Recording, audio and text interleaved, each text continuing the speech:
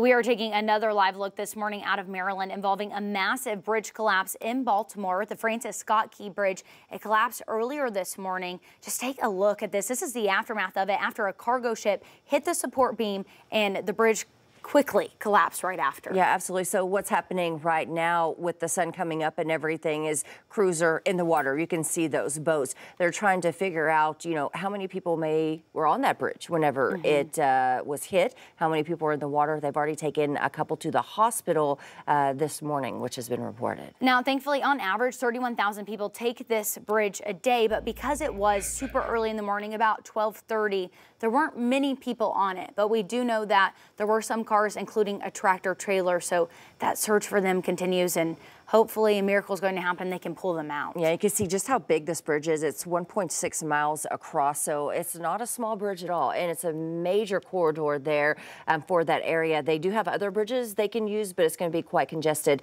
um, in the Baltimore area this morning as crews are continuing to work and figure out, you know, how extensive this is. Yeah, definitely a tragedy. Our thoughts and prayers with those, and we'll continue to keep you updated throughout the morning and on our website, 5newsonline.com.